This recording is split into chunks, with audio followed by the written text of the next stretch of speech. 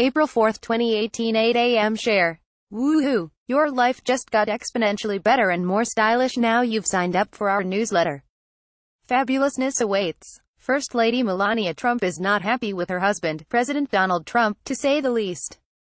A little more than a week after Stormy Daniels' explosive 60 Minutes interview, a source exclusively told In Touch that the Slovenia native has reached her breaking point.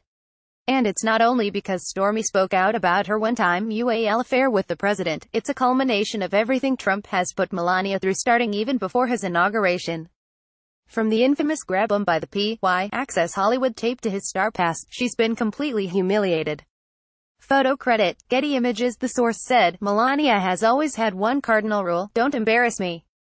Even before he became president it's been one humiliating story after another, and even though the former model is a very strong woman, having her marriage scrutinized under a microscope has been mortifying.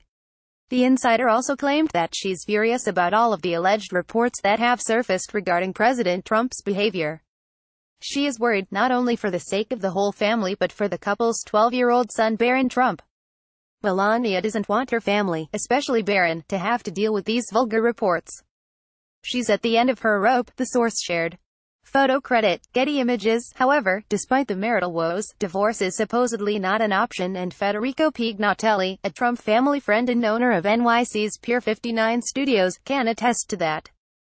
He told In Touch that while Melania is definitely upset at the moment, her feelings really stem from the way certain false accusations have portrayed her husband in the media and she might actually stick by his side through it all. He said, she's annoyed. She doesn't want to give credibility to all these people attacking the president's reputation. She doesn't want to talk about more from In Touch. Stormy Daniels reportedly told Seth Rogen about her affair with Donald Trump 10 years ago. Donald Trump used $27,075 in taxpayer money to track Stormy Daniels' news report. Stormy Daniels' lawyer will refile request to depose President Trump after judge denies motion.